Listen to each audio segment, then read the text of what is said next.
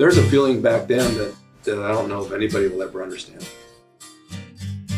It was as close to Greenwich Village on the west coast that we had.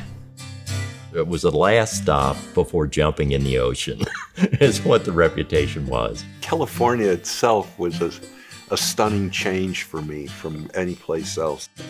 And it had what you can't buy, uh, which is a, um, a gestalt, a, um, a feeling about it. And the will to train there felt like totally like you just fell down with a parachute to the perfect place. Well, what it was like was magic. You know, it was almost better than any reality that I would have imagined.